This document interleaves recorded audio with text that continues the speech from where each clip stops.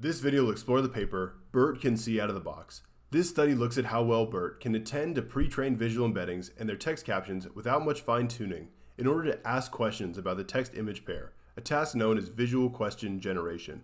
The authors show that BERT performs very well in this task without much fine-tuning of the image embedding, demonstrating the flexibility of these attention layers and showing the transferability of multimodal embeddings into these BERT models that combine inputs like CodeBERT, taking natural language and programming language pairs, or ImageBERT, which combines images and their text captions. Other examples include things like multilingual BERT, VilBERT, or VideoBERT. This video will explore the paper BERT can see out of the box. This video will explore the paper BERT can see out of the box, looking at how well BERT can attend to visual embeddings that come straight from a faster RCNN model without much fine-tuning of the visual representations. This vision language BERT model is tested on visual question generation. BERT is one of the most popular models for natural language processing tasks. BERT works by having a sentence A and a sentence B, and then using two unsupervised or self-supervised learning tasks to pre-train this model on massive text datasets.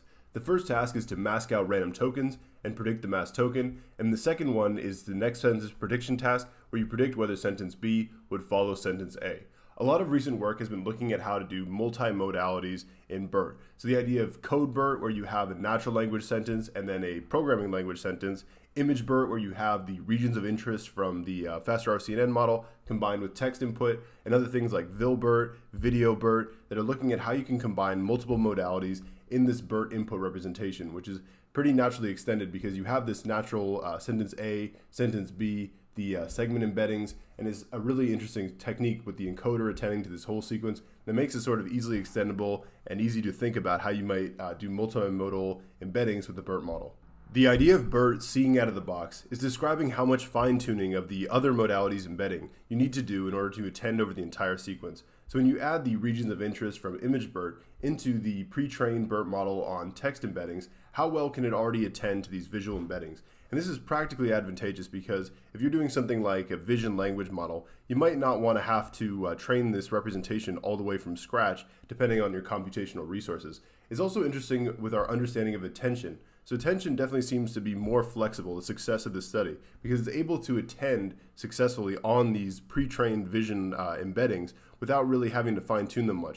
So it's definitely interesting to see the adaptability of attention. This also works in settings like multilingual BERT, where it trains on a monolingual corpus. So only training the BERT model, the pre-trained representations, is attending on sentence A in English and sentence B in English. But then later on, they fine-tune it in multilingual applications like sentence A in English and sentence B in French, and it performs really well in that. And it also seems to work with the images and you know code BERT and the video BERT. So it's really interesting to think of this extendability of attention to attend over these pre-trained embeddings.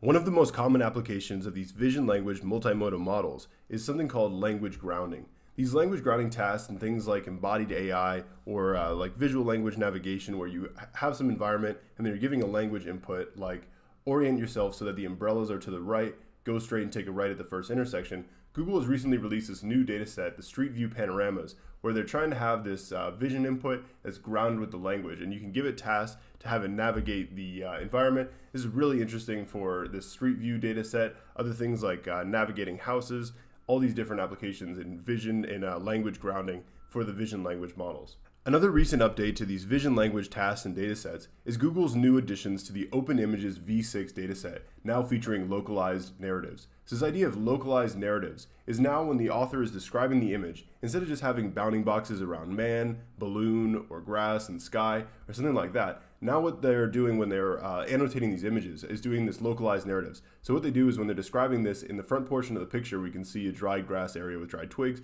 They're also going over this area with the mouse. So you have this vision information of where the mouse is going to describe, sort of like how I'm making these videos when I use the mouse cursor to go over the equations or whatever, and how they're doing this to ground the vision language. It's really interesting these advancements in the data sets and tasks and these models like BERT can see out of the box that are looking at how we can combine vision and language information in these models. The experiments in BERT can see out of the box are looking at how well you can take these visual embeddings from the faster RCNN model trained on the visual genome dataset and integrate them with the text embeddings in the BERT model. So the idea here is to take 36 regions of interest from the faster RCNN model, and the first dim uh, dimension embedding of these faster RCNN regions of interest are about 2,304. and the BERT text embeddings are about 768 by 1 vectors. So you need to have this linear projection matrix W that takes the embeddings from the FastRCNN and maps it down into a compatible dimension for input to the BERT model. So these 2,304 uh, dimension vectors that come out of the faster RCNN region of interest are downsampled down to 2,300 uh, to uh, 768 dimension vectors with this linear projection W. So then they go into the positional embedding that treats the uh, visual tokens like a sequence and then we have the BERT encoder, and then we're going to talk about how they uh, rearranged BERT to be a decoder for the sake of application of these uh, questions.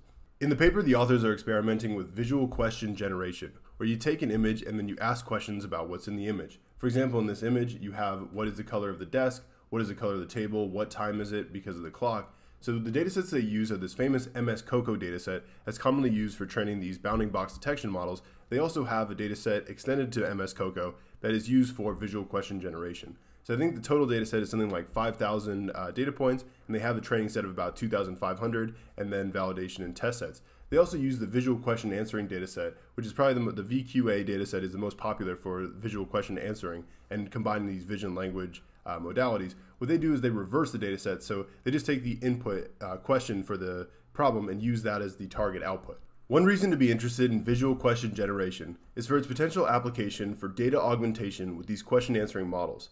One example of this in natural language processing is they have these question answering systems where the input is a long span of text and the answer is somewhere within that text. So what they do is given conditioning on the original input text or the input paragraph or input Wikipedia article, they train a generator model like the GPT-2 to generate potential answers.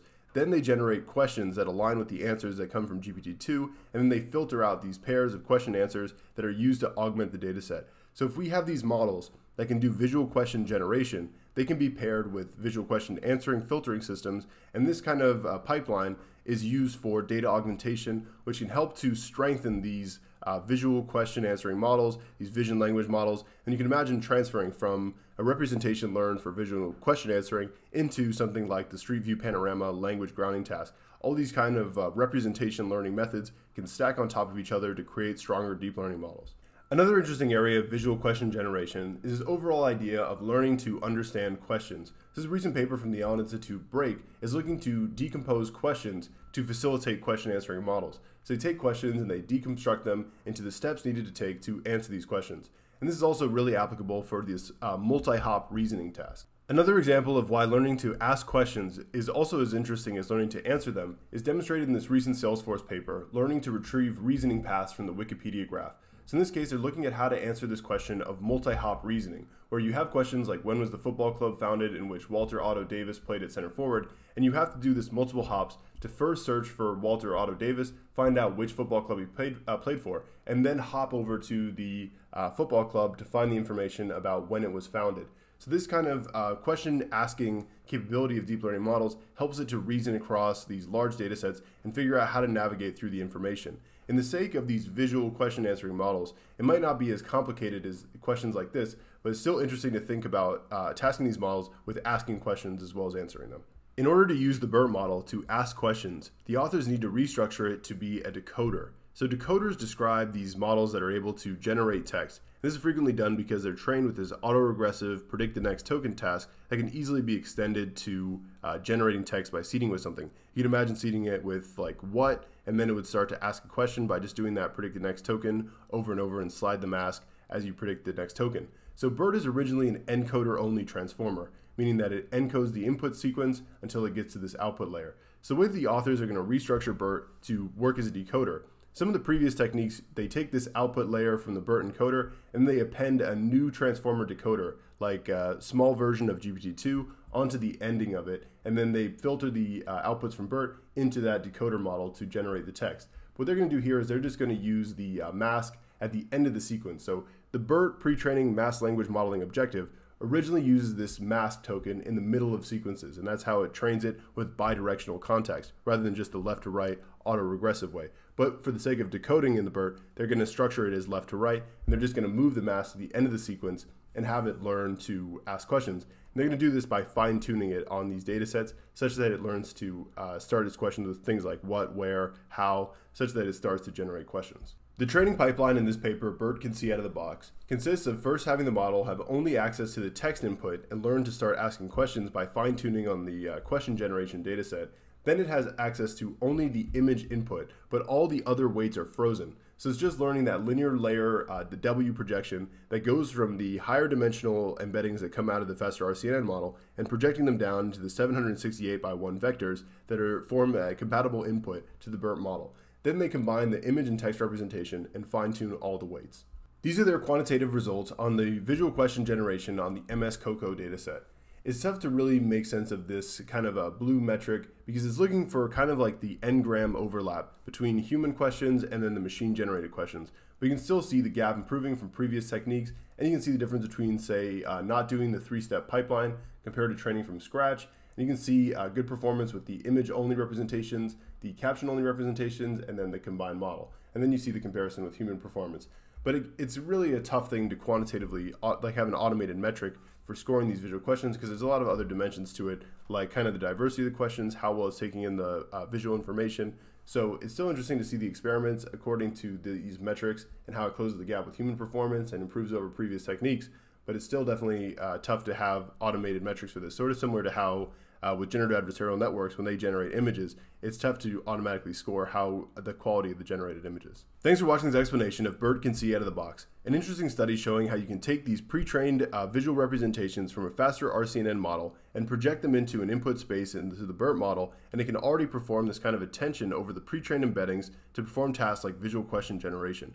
Hopefully from this video you also got a sense of why visual question generation might be interesting and how it can be used for vision language learning and these tasks like uh, language grounding in the Street View Panorama dataset. Thanks for watching and please subscribe to Henry AI Labs for more deep learning and AI videos.